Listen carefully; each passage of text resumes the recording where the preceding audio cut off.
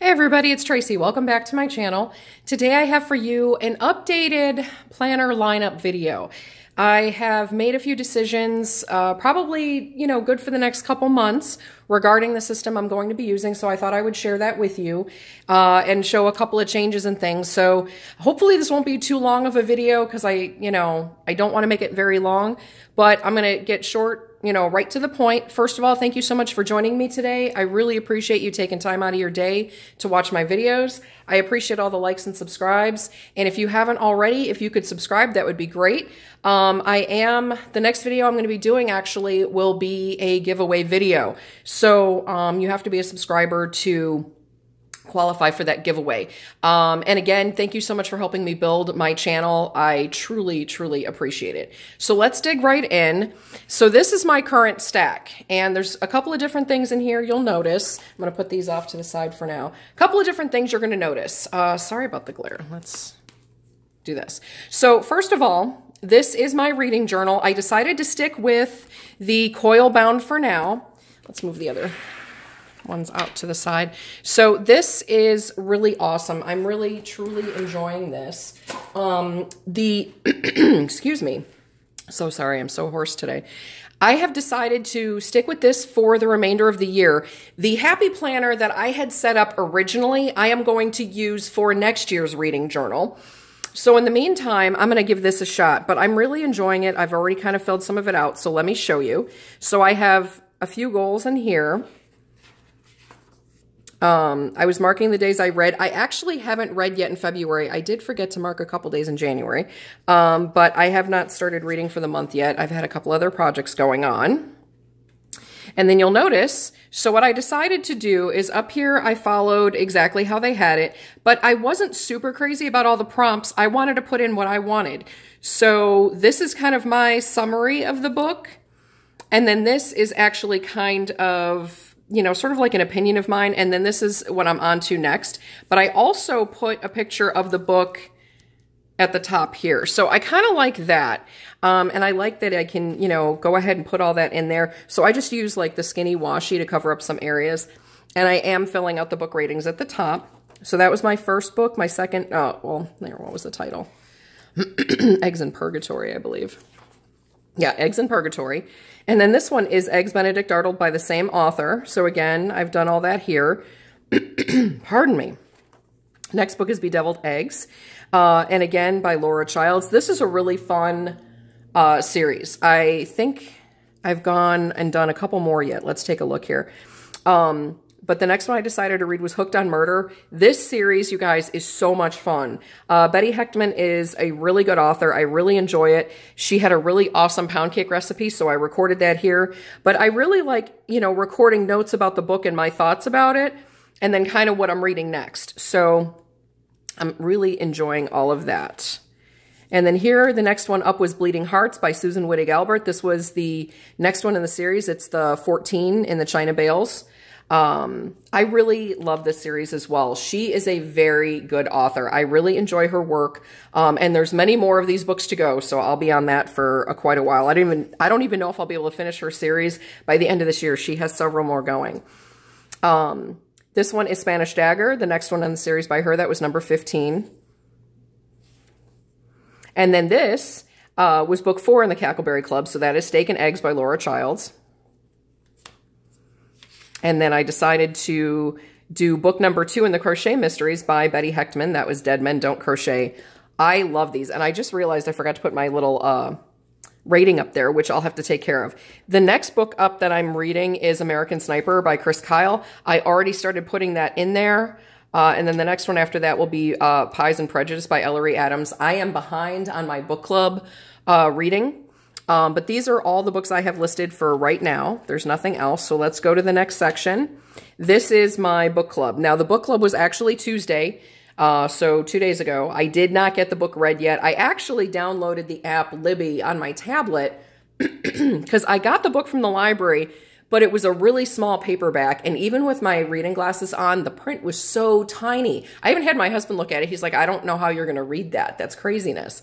So I turned the book back in download, downloaded the Libby app, and I do have that book on my tablet now. that I got from the library. So I might actually read this next and then go to reading American Sniper because American Sniper is my book. So I will probably do this one next and then I will go ahead and watch the video um, of the book club meeting and then hopefully get back on track with that because I really want to do that this year. I really want to join in. Now I did... Um, start with the first book here with the picture. I did write all the books in at the top. Um, I did not put all the pictures in or anything yet, so I'll get to that uh, soon. The next thing I did was I did set up my TBR in here. So like here I have all the Susan Wittig Albert, uh, Joy Avon, David Baldacci, Mamie Bell, uh, Tonya Kappes, uh, ACF Bookens, the different series. So all of those are in here now. So this all became my TBR list. I did not put favorites because again, I did not feel the need to do that. I, I, I just wanted to have my TBR list and leave it at that. So that's all in there. I did write down the book club reads uh, for the Cozy Mysteries uh, from 2022, so I might go ahead and read those. And then um, I do, again, want to read American Sniper by Chris Kyle and also Lone Survivor by Marcus Luttrell.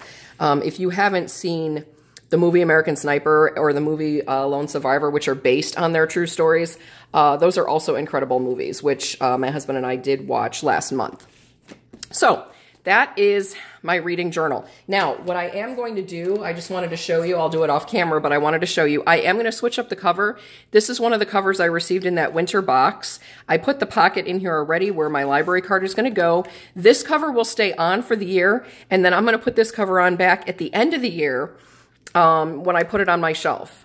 Uh, and then I'll probably just save this for when I do go to another A5 um, probably next year for some reason. So I'm going to put that off to the side, but that's how that's going to change up. Now, my wellness journal. This I absolutely love. I've decided I really like having my wellness separate from my catch-all. It's working out really well for me because like when I go downstairs to work out, I can take it downstairs into our gym and keep it with me. Uh, and, and it just makes it so much easier. So my name and everything is already in the front. This is how January turned out. Um, so I'm able to mark any kind of cycles. Uh, I actually missed my weigh-in on the 23rd, but I uh, we went hiking at Starved Rock, so I actually have been able to, you know, write everything in here. I'm keeping, you know, track of my habits. Uh, the two at the bottom are acetaminophen and Tiger Balm. I'm proud to say I didn't need any of them for the entire month. I did forget to mark my vitamins, though, because I did take those. But in any case, so that's kind of what I'm doing. I'm using this as a dashboard. I'm getting the Planner Kate stickers, and then I'm doing the week at a glance to put my workouts in. So this is working out super great, guys. I am really loving this. Now, if they don't come back with this, um, it's listed as a what? A productivity planner, uh, but it was listed as the companion planner on um, on the website. If they don't come back with these, because they were limited edition, I will either get the dated monthly or I will just get a notebook. And Planner Kate also makes um, like shells where you can, you know, do a calendar because this setup is working great for me. I left a section in the back here, you'll notice. So after the last week, I left a section here where I could write in and kind of journal uh, how things were going. And that's really been nice. I really like that. Um, then this, of course, is February, another Planner Kate kit with my dashboard and then my weeks. I'm really, um, I'm really glad I decided to do this. You know, breaking out of my usual routine, um, I feel has actually opened up new options for me to really better utilize my time. Um, and I'm really enjoying that. I've already got March set up as well, so I'm going to turn through that. I uh, have already chosen the kit I'll be buying probably tomorrow from Planner Kate for April, but I really like her monthly pages.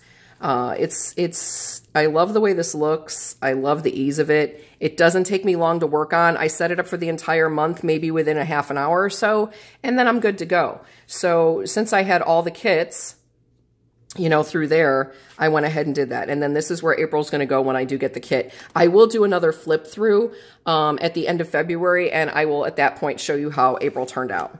So that is my wellness. I absolutely love this. Um, I will keep it like this. Like I said, if they don't come back with the companion planner, that was the limited edition, I will then go to either the dated monthly, where it's the month and it's already there, and then I have all the, the blank pages, which will probably be my second option, Or if for some reason they change that or don't come back with that, then I can always just use uh, 7 by 9 notebook. So I really love this. And I am considering, I don't know if I'm going to put this on my catch-all or if I'm going to put it on here.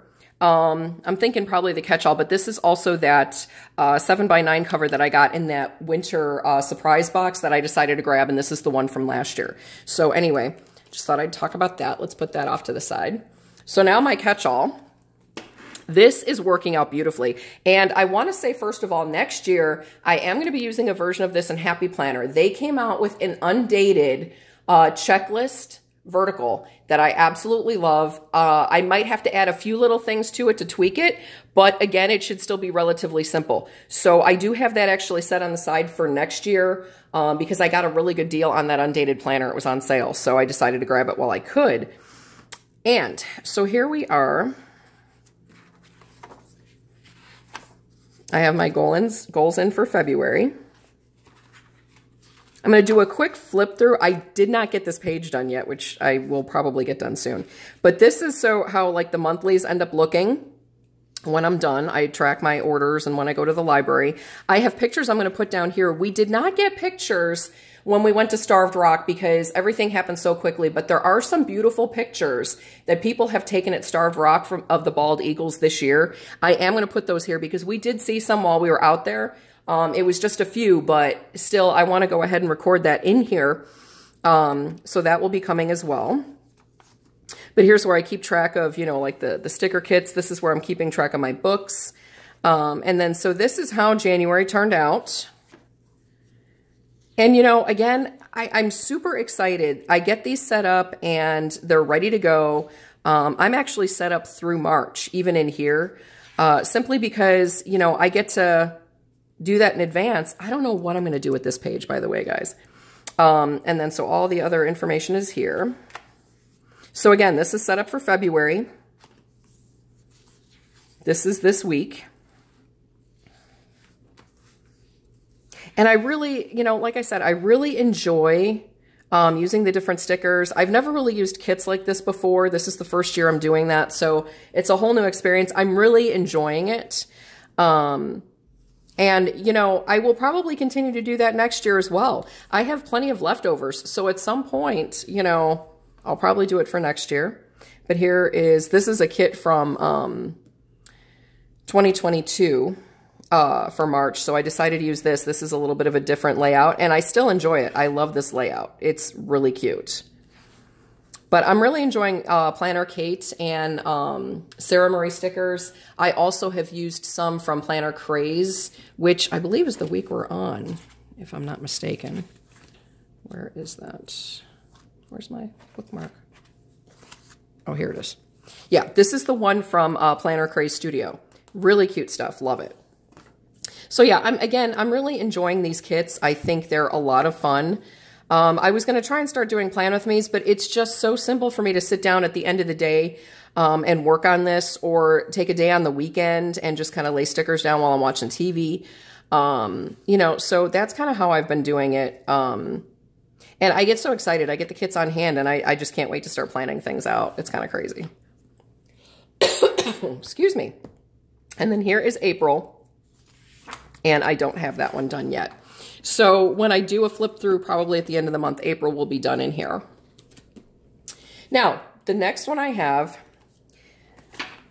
excuse me, this is my um, social media and Scentsy business planner. This is a monthly. So I'm going to record orders here. This is ideas for my uh, workout planner. I always keep this around. These are, are my Mildliners. And then in here, now I had started setting this up and I had it in my original Happy Planner catch-all. Um, I didn't end up really using it in January too much. And actually, I can change this out now. Put that to the side for a second. So I really didn't use it very much. Excuse me. I'm to grab a glass of water, guys. Hold on. Okay. Sorry about that. Um, so anyway, what I decided to do was I recorded kind of how I started using it, and now I've got it completely set up for February. So I'm going to use the monthly calendar. And then in here, I had actually already uh, taped that shut, so I wasn't going to use the monthly originally. I've decided I'm going to try and use it. So this is how I've decided to move forward with it. Um, everything will be on the dashboard, and then I have planned out for checking my workstation for uh, YouTube videos, you know, ideas and what I actually film. And then I have the spare pages in here. Plus, I'm going to use uh, the blank pages for kind of still like the brain dump like I originally intended. Uh, so whatever thoughts dealing with social media um, and, and the Scentsy business will all go into this section. So in the meantime, I'm going to go back here and put this in. And this is all ready to go. All right, so that's that one. The last one I have is not one that I've shown. It's something that I've recently set up. Excuse me. I had this as a spare. Um, I have these dividers uh, that I was originally using when I was going to use a big planner for my social media. And I originally got the seasonal one, which I love the dividers on, and that was one of the big things for me um, because it was, uh, you know, the dashboard originally, which is what I wanted and it had these great dividers. I've since obviously changed my mind on that. However, what I love with this is now this has become kind of my crocheting project book. So in here, I'm writing down like what projects I'm working on for the month.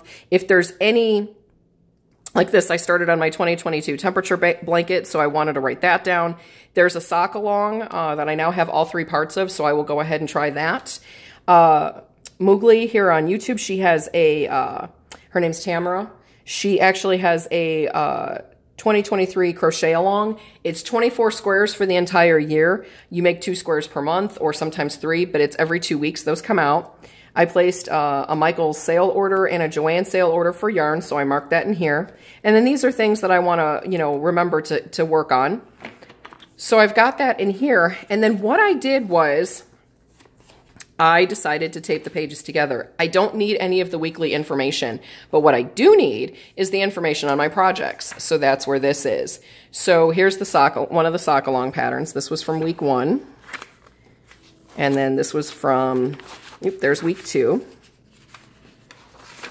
Sorry, the pages are sticking together. This is the crochet along. So I've printed out some notes and things from that. So there's the blocks. So that's all in here as well.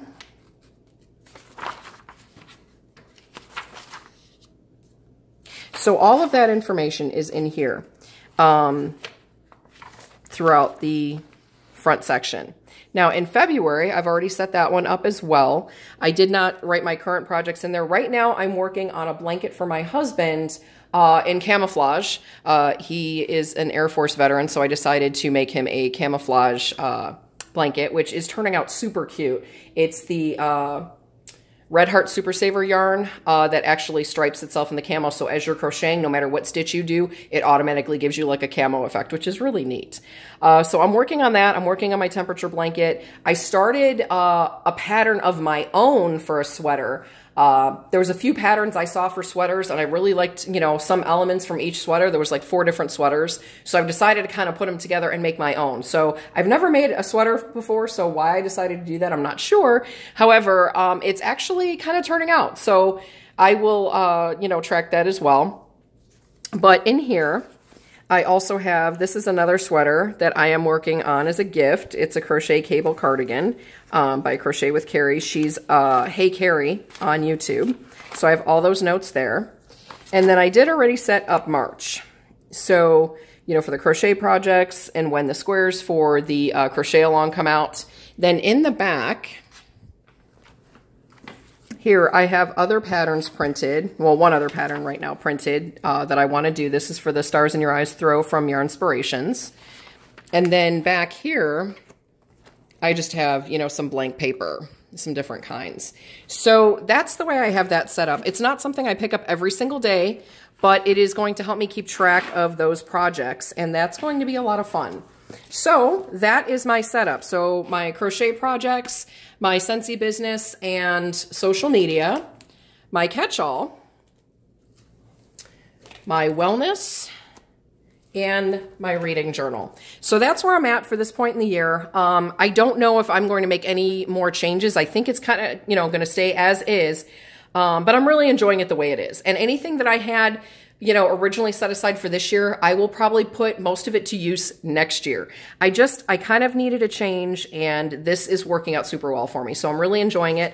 And speaking of enjoying, I hope you enjoyed the video. And thank you so much again today for joining me. Uh, the next video I will have coming up will be regarding the giveaway, which I'm going to start today and we'll probably go through the weekend. I'm thinking I'll probably you know, draw a winner either Monday or Tuesday. So that video is coming up next. I will talk to you guys soon. Enjoy the rest of your day.